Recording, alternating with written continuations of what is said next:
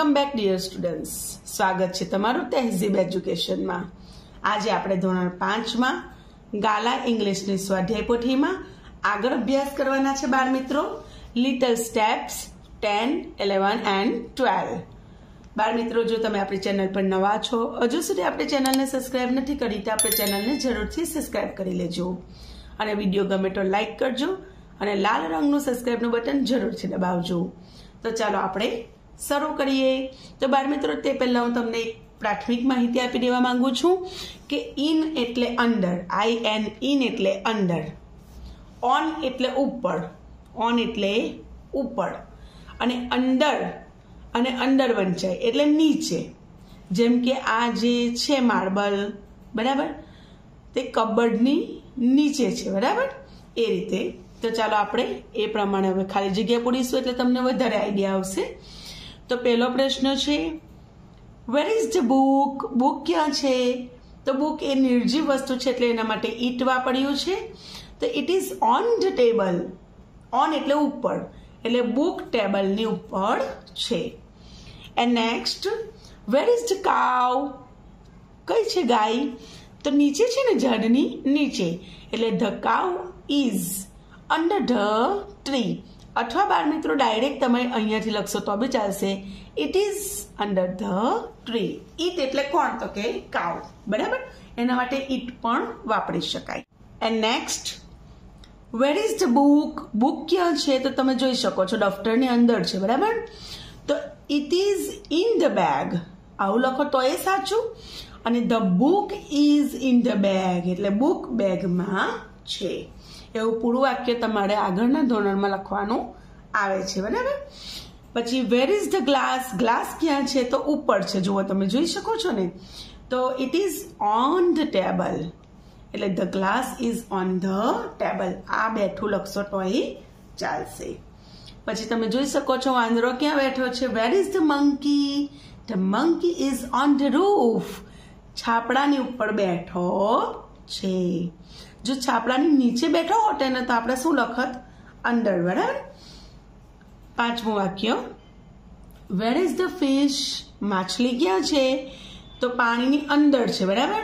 એટલે it is in water અથવા the fish the fish is in water પાણીમાં છે. વેર ઇઝ ધ કેટ બિલાડી ક્યાં છે? તો ખુરશીની નીચે છે, બરાબર? એટલે it is under the chair it is under the chair અથવા the cat is under the chair એવું લખશો તો એ સાચું. પછી સાતમું વાક્ય વેર ઇઝ ધ ફ્લાવર તો the flower is in the vase જો ઇન આવશે. અહીં તમે ભૂલ ના કરતા. ઓન એટલે ઉપર છે, એવું ના સમજતા. કારણ કે ફ્લાવર કંઈ ઉપર ના આવી જાય. એ નીચેથી ઉગીને જ પછી ઉપર એનો વિકાસ થાય છે. બરાબર? એટલે it is in the vase આગળ જો જોઈએ તો વેર ઇઝ ધ ક્લોક ઘડિયાળ ક્યાં છે? તો it is on the wall દિવાલ ઉપર છે. Where is the bag bag ક્યાં છે? It is under the bed એટલે કે બેડની નીચે છે. પછી વેર ઇઝ ધ પોટ એટલે કે ઘડો ક્યાં છે? તો it is on the woman's head સ્ત્રીના માથાની ઉપર છે, અંદર ના આવે, બરાબર? નીચે નથી. પછી where is the bird bird ક્યાં છે? It is in the cage એટલે કે એ પિંજરાની અંદર છે. બારમું વેર ઇઝ ધ ગર્લ છોકરી ક્યાં છે? તો she is under the umbrella એટલે કે અમરેલાની નીચેની સાઈડ પર છે, બરાબર? એ રીતે જવાબ આવશે. આગળ બાળ મિત્રો, ત્રેવીસ નંબરના પેજ ઉપર જોઈએ તો what is it what colour it is it એટલે કે આ શું છે અને એનો કલર શું છે? એ રીતની સરસ મજાની એક્ઝામ્પલ સાથેની પ્રવૃત્તિ છે. તો આપણે નીચે જોતા જઈશું, એટલે તમને વધારે ખ્યાલ આવશે અને તમે વાંચી પણ લેજો. તો બીજો પ્રશ્ન છે, ચિત્ર જોવાનું, પ્રશ્ન વાંચવાનો અને કૌંસમાંથી ઉત્તર પસંદ કરીને લખવાનો છે. તો વોટ ઇઝ ઇટ આ શું છે? ઇટ ઇઝ અ ક્રો આ કાગડો છે. વોટ કલર ઇઝ ઇટ એનો કલર કયો છે? ઇટ ઇઝ બ્લેક એટલે કે કાળા કલરનો છે. એ રીતે ચાલો આપણે ફટાફટ જોઈ લઈશું. તો વોટ ઇઝ ઇટ આ શું છે? ઇટ ઇઝ અ ક્લાઉડ એ વાદળ છે. વોટ કલર ઇઝ ઇટ એનો કલર કયો છે? તો ઇટ ઇઝ વ્હાઇટ એ સફેદ કલરનું છે. આગળ જોઈએ તો વોટ ઇઝ ઇટ આ શું છે? ઇટ ઇઝ અ બ્રિંજલ આ રીંગણ છે. ઇટ ઇઝ પર્પલ એ પર્પલ કલરનું છે.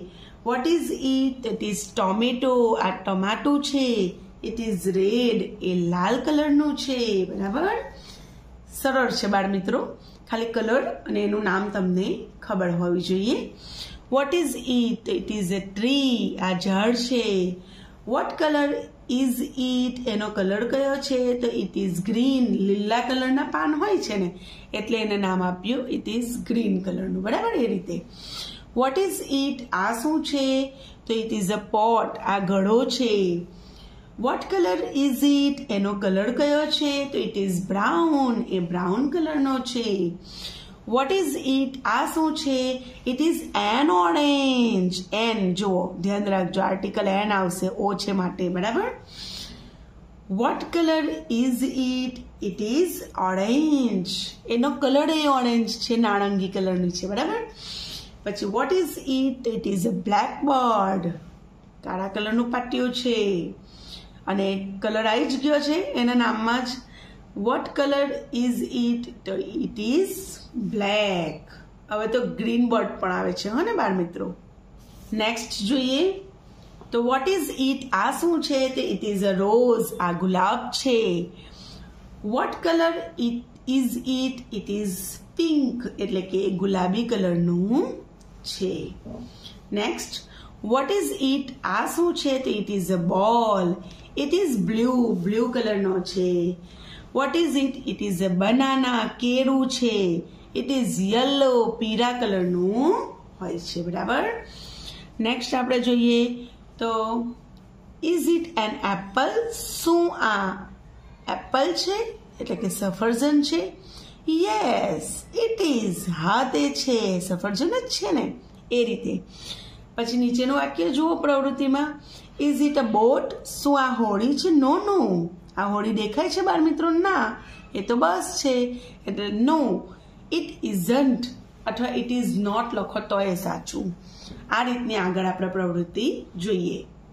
તો એ રીતે બાર મિત્રો તમે ચિત્ર જોતા જજો. યસ આવે ને એટલે એનું જ ચિત્ર છે એવું સમજવાનું.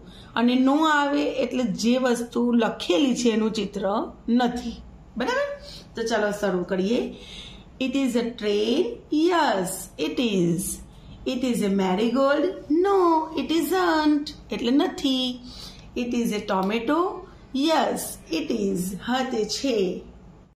Next it is a sparrow સ્પેરોનો મતલબ ચકલી થાય. પણ આ તો પોપટ છે. એટલે નો ઇટ ઇઝન્ટ ના તે નથી it is a banana yes it is banana એટલે કેળું it is a bell yes it is it is a horse શું આ ઘોડો છે? ના ના. આ તો ઊંટ છે. તો નો ઇટ ઇઝન્ટ ના તે નથી ઇટ ઇઝ અ બોલ શું આ બોલ છે? નો આ તો બલૂન છે, તો no it isn't next it is a lotus શું આ કમળ છે? યસ ઇટ ઇઝ હા તે છે. નેક્સ્ટ દસમું જોઈએ. ઇટ ઇઝ અ બસ શું આ બસ છે? નો ઇટ ઇઝન્ટ ના, તે નથી, એ તો હોળી છે. ત્યારબાદ બાળ મિત્રો how many pens are there how many એટલે વસ્તુની સંખ્યા દર્શાવે છે. તો આપણે આગળ જોઈશું ને બાળ મિત્રો? તમે પણ પ્રવૃત્તિ વાંચી લેજો. બરાબર? અને આગળ જોઈશું એટલે તમને ક્લિયર થઈ જશે. પેજ નંબર ઓગણત્રીસ ઉપર ટ્વેન્ટી નાઇન ઉપર. How many stars are there કેટલા છે? ગણી લો એક, બે, ત્રણ, ચાર, પાંચ, છ, સાત, આઠ ને નવ. તો નાઇન સ્ટાર્સ પછી અહીં સાત ફૂલ છે, તો સેવન ફ્લાવર્સ અહીં ત્રણ બ્રિંજલ છે, ત્રણ રીંગણ છે, એટલે થ્રી બ્રિંજલ્સ. અહીં પાંચ કેરી છે, તો ફાઇવ મેંગોઝ પાંચ ફુગ્ગા છે તો ફાઇવ બલૂન્સ દસ એપલ છે તમે ગણી લેજો, તો ટેન એપલ્સ ધેન નેક્સ્ટ બે ગાડી છે તો ટુ કાર્સ છ પેન્સિલ છે તમે એક, બે, ત્રણ, ચાર, પાંચ, છ, આમ ગણી લેજો six pencils how many books are there four books four એટલે ચાર. એટ કાઇટ્સ એટલે આઠ આઠ એટલે એટ બરાબર? એ રીતનું સંખ્યાના આધારે હાઉ મેની ક્વેશ્ચન પૂછી શકાય. પછી હુ ઇઝ સી તેણી કોણ છે? હુ એટલે કોણ?